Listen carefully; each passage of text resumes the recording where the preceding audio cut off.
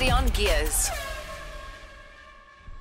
All right, let's get hold of uh, Claire Early, Claire Jane, because uh, she's doing a thesis on Formula One, and we're going to find out how we can help her out and get involved and what she's actually doing it all about. I think it's quite extraordinary. What did you do your thesis Hello. on? Claire, Hi, how are you? terrific. How are you? Not too bad, thank you. Awesome. For those who don't remember Claire, Claire was on the yacht in Monaco last year, hostessing for a whole lot of people. It's only like her ninth time that she's been there. Is that right? Um, fifth time. You're quite spoiled, Claire. I know, I know, I'm sorry. Don't apologize whatsoever. You're very lucky. Now, Claire, I came across your blog the other day. Um, first of all, you're studying sports management. Is that correct? Yes, that's correct. Okay, so now you're doing your master's and you have to do a thesis. Yes, I have to do Ah. a thesis. You're doing a thesis. Now, you've chosen Formula One. So tell us what your thesis is on in the world of Formula One. Well, basically what it's on is I'm looking at uh, fan response to team performance, so how the fan reacts to how the team performs during the season or during the races. Excellent. So yeah, that's pretty much it in a nutshell. Yeah, but I think you've chosen a perfect um, season and most probably also last season for people to respond because uh, I think with everything that's going on, you're going to get quite uh, quite a varied uh, response. Yeah, no, definitely. Um, from what I've seen in the pilot research that I've done, it's that there has been a huge sort of variation in people's responses and the way that they are feeling about it. So it should be very interesting. Okay, so um, well, listen, I registered there, but I haven't done the questionnaire yet. Tell us a little bit about. Okay. Tell us a little bit about um, what sort of questions people can expect if they go and register with you. Uh, kind of questions is just basically finding out what your um, who your favorite driver and team is, and then from there it's sort of how you respond to their performance. So it's things like if you um, if your team loses, do you go out and proudly support them, or are you less likely to talk about them? Things like that. Just basic Ah. how your emotions um, gauge according to their performance. Now, how many people are you trying, or how much data are you trying to get um, in order to have, I suppose, a good sample for your um, thesis? Uh, hoping for somewhere between anywhere between 100 and 200 people would be huge for me. It would be a, a quite a big uh, representation of the population here, Okay. and it would also give a, a good amount of data for the actual research. Terrific. Now, how do people come and get involved?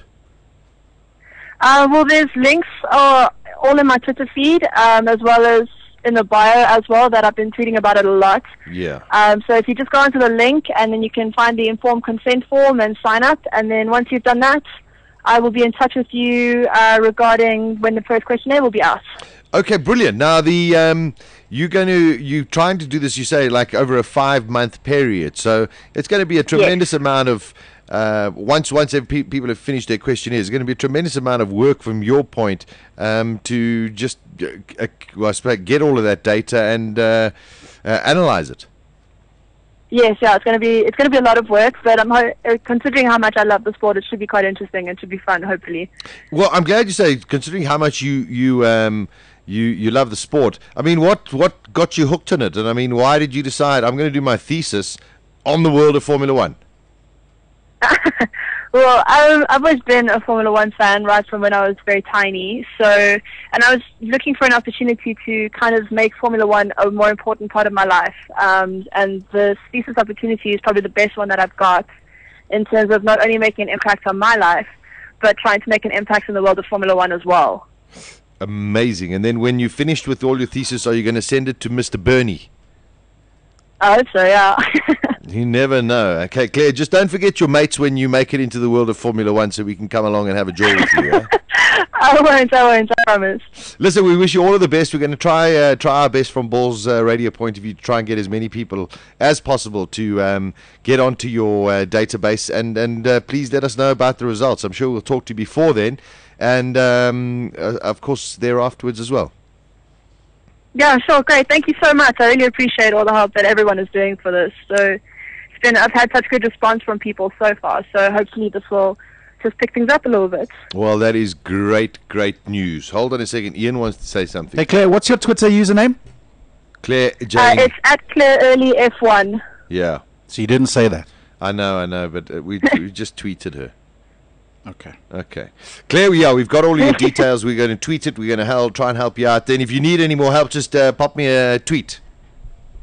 Great, I will do. Thank you so much. All right, have a lovely day. Thank you, you too. Okay, bye. There we go. Claire, Bye. who's doing her uh, thesis, sports management on Formula One and how people react when their teams win or lose. Get involved. Uh, Maz has just posted all of the details up on uh, our Twitter feed. And uh, do yourself a favor, just go and do it because I think it's going to be some great, great research.